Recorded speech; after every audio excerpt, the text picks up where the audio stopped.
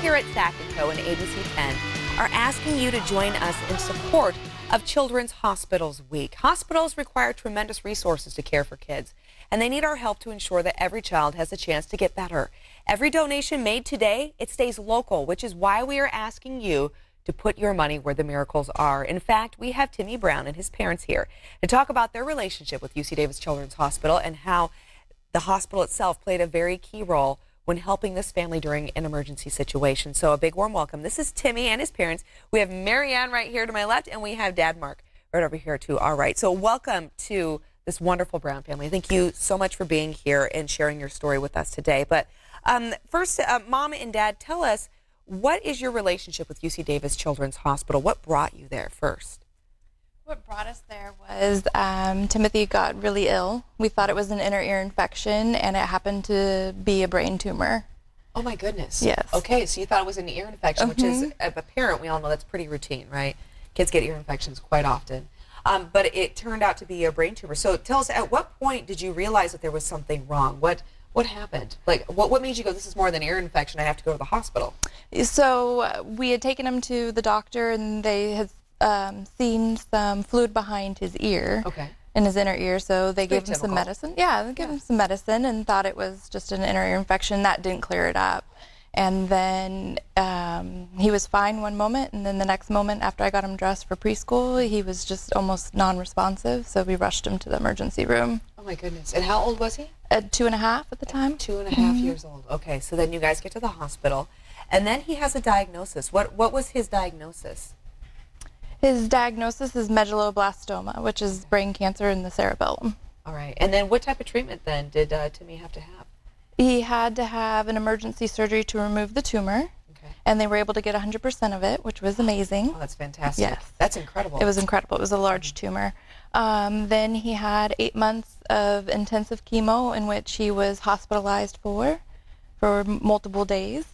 Um, and then he had 30 sessions of radiation after he turned three. Okay, and how long was his treatment? Because it started, you said, when he was about two and a half. Yes. So um, it started in January of 2012 and ended in October of 2012. So almost Okay. a whole year. All right, and so now Timmy is with us today. So clearly, uh, this was uh, some you know miracle work, right? Yes. Mom? I mean, you you've got to feel that in your heart. Oh, that- definitely. Yeah, absolutely. And Timmy, how old are you now? Eight. Eight years old, and Timmy's here sharing his story. Timmy, um, you like baseball, I hear, right? Yes. And you play on a team. yes. That's fantastic. So, what position do you play? Catcher. You're a catcher? Mm-hmm. No way. Okay, so you like to you, you don't mind that coming towards you and catching the ball. What do you love so much about baseball? It's fun and you get hit a lot. And you you get hit a lot, or you mm-hmm. like to hit the ball a lot? Hit the ball a lot. Yeah, that's right. Right, batting. That's also one of my favorite parts of the mm-hmm. sport too. Timmy, so happy to have you here today with your parents. You are such an amazing amazing champion. Which leads me to the Children's Miracle Network Champion Program, right? Yes. So share with our viewers what exactly is this Champion Program? So the Champion Program is um, a program in which one child that has overcome a life-threatening illness um, is kind of the spokesperson for all of the sick, sick children in the area. And Timmy, you're an excellent spokesperson, by the way. You, you've got to be excited to be a champion. Are you excited? Yes. Yes. Go around sharing your smile and your heart and your happiest. Um, Daddy, how, how proud are you of Timmy to be a champion? I was super proud. It was exciting when we found out, and um, he was super excited when we got the announcement. So Mm-hmm. Did, did you jump up and down? Were you cheering? I didn't know what it is at the time. At the time, but now you do. So do you jump up and down when you realize it? Do you go, yeah, I'm a champion? And you're all excited?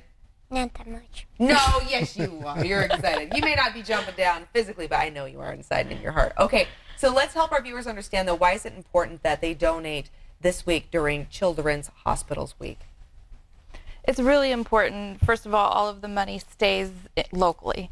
So it will help children like Timothy and it will help children who have other illnesses too who are stuck in the hospital. Um, UC Davis has done an amazing job with the MRI goggles, obtaining the MRI goggles through those donations, Child Life, um, and a lot of other programs and research also to help find cures for different things. And, and Timmy's story too in itself, you guys being here today in itself is an excellent example of why all of you need to Yes. donate this week, uh, so you can help save and um, protect children like Timmy, so he can play baseball and grow and prosper and have a beautiful life. And we all deserve that. Every family deserves that. So again, Children's Hospitals Week is taking place right now until Sunday, March 11th. So it's right now. So donate. All you have to do is call 1-877-719-KIDS or you can visit abc10.com slash donate now. And that is what you're going to do. You're going to donate now. Timmy, can you smile and give them a nice little wave? There you go. There's your best little champion smile right there. Do it again, buddy. One more time. Let's get a little close up of that sweet little face. There you go. I cannot wait to see you out on the ball field. You got some games coming up?